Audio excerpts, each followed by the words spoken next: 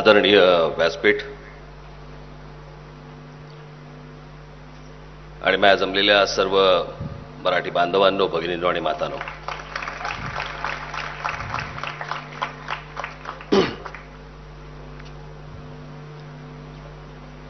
खरं तर मी येताना विचार करत आलो की मी साहित्य संमेलनामध्ये का आलोय? आणि अनेकदा मी जांभूळ टपकावा तसा टपकतो कुठेही. का हो बोलून जातो मला अजूनपर्यंत कळलेलं नाही. त्याच्यामुळे मी आता येत असताना इथे मी का आलो असा विचार करत आलो आहे आणि इथून जाताना मी का आलो होतो याचा विचार करत जाणार आहे. खर तर साहित्यिकांना वाचावं. त्यांची पुस्तकं वाचावी ती समजून घ्यावी त्याच्या मागचा विचार समजून घ्यावा. इथपर्यंत आमचा तुमचा साहित्याशी संबंध. आणि एकूणच माझी जर समजा आंदोलनं जर समजा पद्धत पाहिलीत तर आमची साहित्य वेगळी. ह्यांची साहित्य वेगळी. आणि त्याच्यामुळे मी या मंडळाला मी कुठून सापडलो किंवा मी कुठून आठवलो मला याची काही कल्पना नाही. मला मी असंच कित्येकदा मी कसा हो बोलून जातो मला माहीत नाही आणि का हो बोलून जातो ही मला माहिती नाही. मी काही स्वतः साहित्यिक नाही त्याच्यामुळे यांच्यासारखी भाषा काही मला बोलता येत नाही. बरं आमचा भाषेचा जेनेटिक प्रॉब्लेम आहे. त्याच्यामुळे ते काही फाटकं तोंड कोणाला शिवता आलेलं नाही. मागे एकदा असंच मी घरी बसलो असताना मला माझ्या पत्नीने मला सांगितलं की अरे प्रभाकर पणशीकरांचा तुला फोन आलाय. आला होता. तर म्हटलं काय काम होतं? खूप बरेच वर्ष झाली त्याला. म्हटलं काय काम होतं? मला मला माहीत नाही म्हणे. आला परत तर बोल त्यांच्याशी. थोडं आणि मला प्रभाकर पणशीकरांचा फोन आला. मला म्हणाले राजभाई किशोरीला तुमच्याशी बोलायचंय. म्हटलं कोण किशोरी? आता पटकन कसं कळणार आपल्याला? मला बोलले किशोरी आमोणकर. म्हटलं किशोरी ताईंना म्हटलं माझ्याशी काय बोलायचंय? मला बोलले मला माहीत नाही. त्यांचा तुला फोन येईल. पाच मिनिटानंतर मला फोन आला. पहिला त्यांनी सुरुवात केली कोण राजभाई बोलताय का? तर मला असं वाटलं एकूण माझ्या साधारणपणे प्रतिमेमुळे मला त्या भाई म्हणत असाव्यात तर मी म्हटलं हा बोलतोय. मला म्हणाल्या की माझे मी एक संगीतावरती पुस्तक लिहिलेलं आहे. त्या पुस्तकाचं प्रकाशन तुमच्या हस्ते व्हावं अशी माझी इच्छा आहे. तर मी म्हटलं किशोरीताई कदाचित रॉंग नंबर लागलाय. मी राज ठाकरे बोलतोय. आपण मला फोन केलाय. आपल्या पुस्तकाचं प्रकाशन म्हटलं माझ्या हस्ते. म्हटलं नाही नाही माझी इच्छा आहे की तुम्ही जे मराठीसाठी करतात माझ्या पुस्तकाचं प्रकाशन हे तुमच्या हस्ते झालं पाहिजे. म्हटलं मी उद्या तुम्हाला भेटायला येतो. म्हणून मी दुसऱ्या दिवशी त्यांना भेटायला गेलो प्रभादेवीलाच राहायच्या मी गेलो मग मला त्या बोलल्या की नाही नाही माझ्या माझा तुम्हीच पाहिजेत प्रकाशनाला. आता किशोरी आमोणकर मी हो बोलून बसलो. जसं इथे बोललो ना मी हो येतो. तसा हो बोलून बसलो. कार्यक्रम किशोरीताईंच्या पुस्तकाचं प्रकाशन माझ्या हस्ते पुण्यात. म्हणजे विचार करा काय झालं असेल. पहिल्यांदा किशोरीताईंचं भाषण झालं. नंतर माझं भाषण होतं. आणि माझ्या भाषणाच्या वेळेला मी पहिल्यांदा समोर बसलेले बरस संपूर्ण सगळे पुणेकर तिथे आलेले. मी साधारणपणे भाषणाला जेव्हा उभा राहिलो तेव्हा सर्वसाधारणपणे कुठचेही हावभाव चेहऱ्यावरचे मला बदललेले दिसले नाहीत. अत्यंत सरळ चेहऱ्याने ते माझ्याकडे असे बघत होते. आणि मी म्हटलं की जे तुमच्या मनात आहे तेच माझ्या मनात आहे हा इथं काय करतोय?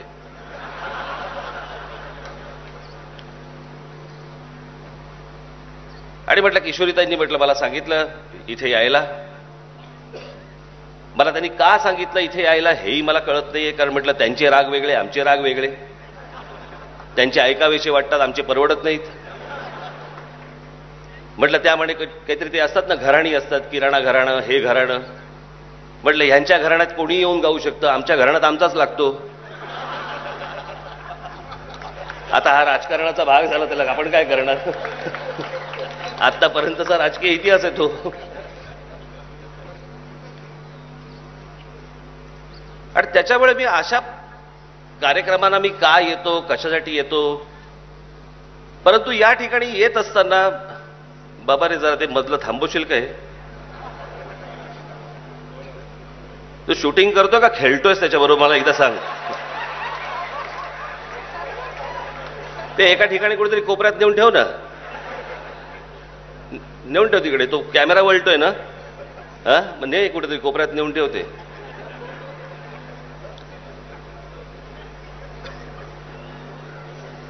सारखं बोलताना आत्ता येईल अंगावर आत्ता येईल अंगावर. बरं त्याचा नेम चुकला. काय करायचं मला जरा सांगा. ती फटफटी धरून ठेव तिकडे असतो तिकडे लांब ठेवून दे तिकडे हा.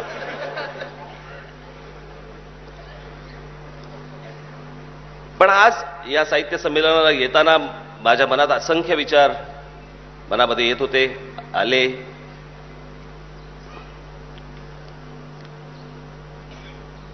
मला कल्पना नव्हती व्यासपीठावरती कोण कोण असणार आहे.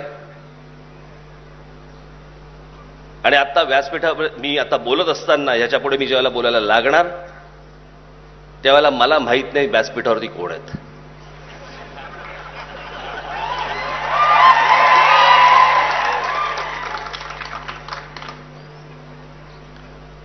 त्याच्यामुळे तुम्हाला मनातनं असं वाटत असेल की कुठं याला बोलवलं?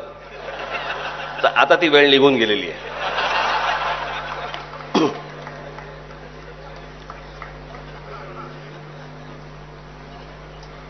आज मी आपल्याशी काही अशा गोष्टी बोलण्यासाठी आलोय ज्या काही नवीन नाहीत.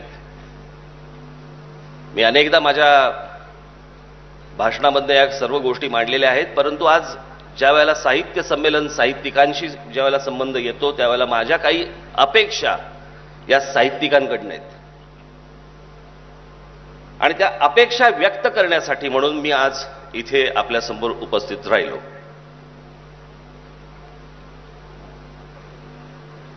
खरं तर साहित्यिक म्हटल्यानंतर सरस्वतीची लेकरं त्यांना मी काही महाराष्ट्र समजून सांगावा किंवा मराठी भाषा समजून सांगावी याची काही गरज नाही आवश्यकता नाही आहे किंबहुना त्यांनीच आम्हाला काही गोष्टी चार गोष्टी सांगाव्यात. पण एकूण महाराष्ट्राची आत्ताची परिस्थिती काय आहे महाराष्ट्रामध्ये काय होतंय काय महाराष्ट्रामध्ये घडतंय हे मला असं वाटतं आपल्यासमोर मांडणं गरजेचं आहे. आणि कुठचीही गोष्ट जर समजा तुम्ही पकडली तर ती राजकारणा व्यतिरिक्त किंवा विरहित ती होत नाही होऊ शकत नाही. म्हणजे जसं आता जोशींनी जसं सांगितलं की मराठी भाषेला अभिजात भाषेचा दर्जा मिळावा यासाठी केंद्र सरकारकडे आम्ही पत्र पाठवलेली आहेत. त्यांना मी आता सांगितलं की या मराठीला अभिजात भाषेचा दर्जा मिळावा याच्यासाठीचं पहिलं पत्र हे माझं गेलेलं आहे दहा वर्षापूर्वी. पण ते अजूनही पडूनच आहे. त्याचं पुढे काहीच होत नाहीये. दक्षिणेतल्या चार राज्यांना मराठी म्हणजे त्यांच्या भाषेला अभिजात भाषेचा दर्जा मिळाला परंतु अजूनपर्यंत मराठीला मिळत नाही ते भिस्त काय घोंगडं अजून तसंच पडू नये. मी आता त्यांना सहज म्हटलं की कदाचित म्हटलं मराठीच्या अगोदर गुजरातीला मिळू शकतं. ऍप्लिकेशन न करता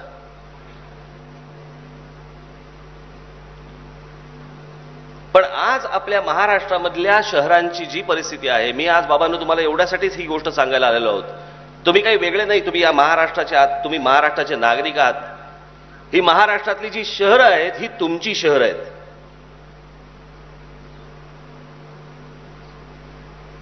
आणि एवढंच सांगण्यासाठी आलो की बेसावत तुम्ही राहता आज आपले सगळेच जण आज बेसावत राहत आहेत आणि काय पोखरून टाकलं जातंय आपल्याकडे याची आपल्याला कल्पना कदाचित येणार नाही आज इथे.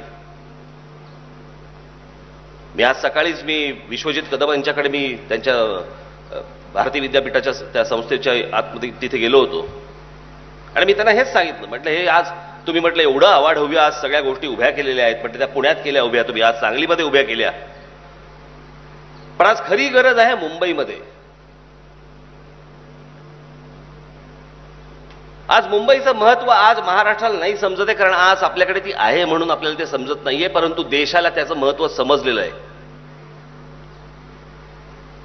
आज आपल्या महाराष्ट्रातल्या मराठी माणसांना या शहराचं महत्त्व समजत नाही आज पुण्याची परिस्थिती आज तीच झालेली आहे.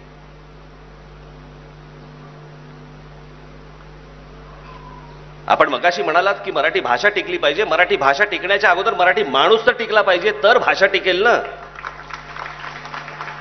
शेवटी बोलायला माणसं लागतात. भाषा अशीच हवेत निघत निघून जात नाही. बोलली जात नाही.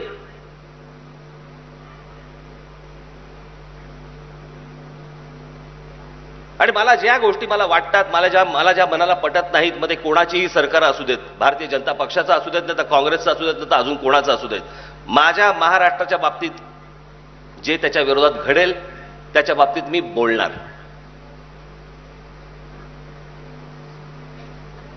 आणि आज तीच परिस्थिती आज महाराष्ट्रामध्ये ओढवलेली आहे. मी आज सकाळी आज तुमच्या सा- सांगलीमध्ये काहीतरी त्या हे निघाली रॅली निघाली.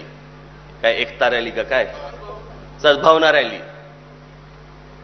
मग ते सगळी सद्भावना सगळी संपली त्यांची. मध्ये सगळेजण मला भेटायला आले. मला बोलले तुम्ही पण यायला पाहिजे होतं. म्हटलं परवडलो नसतो. म्हटलं असल्या रायल्या बेल्या काढून म्हटले असल्या सद्भावना वगैरे होत नसतात. त्या तुमच्या आतून जन्माला यायला लागतात. मनात असेल तर त्या गोष्टी होतील. आज महाराष्ट्रामधली जी परिस्थिती निर्माण झालेली आहे आज जातीपातीतनं सगळ्या गोष्टी आपण पाहिल्या जातोय. एकमेकांबरोबर दुपारचे डबे खाणारे एक मित्र हे एकमेकांकडे आता जातीने पाहायला लागले.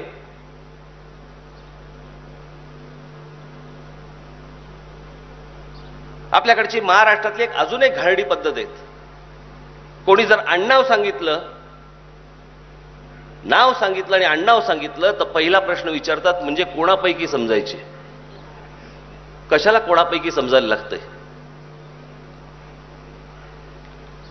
मी आज जे सतत सांगत आलो जे माझे काका सांगत आले जे माझे आजोबा सांगत आले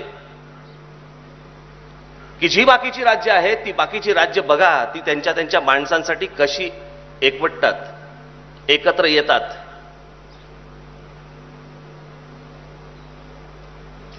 ती कधीही तुम्हाला बेसावत सापडणार नाहीत.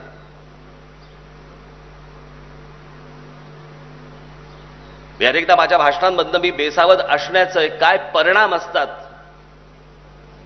याचं मी मागे एकदा उदाहरण दिलं होतं मी परत एकदा देतो.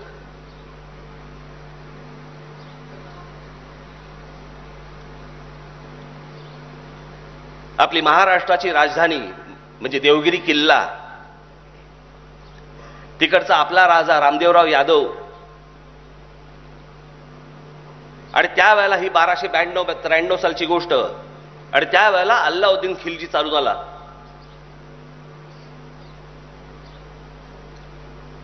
आणि आमचा राजा बेसावत. सांगितलं गेलं की एक लाखाचं सैन्य येत आहे आणि इतकं सैन्य येत आहे कालांतराने ते पोचले. देवगिरी किल्ल्यापाशी पोहोचले आमचे बेसावत आतमध्ये पाहिलं तर दगाफटका झाला होता आणि आतमध्ये ज्या अन्नधान्याच्या ज्या पोती होत्या त्याच्याऐवजी मिठाच्या पोत्या निघाल्या. आतून पोखरलं गेलं होतं. थोडीफार लढाई झाली आणि त्याच्यानंतर आमचा राजा शरण गेला आणि तो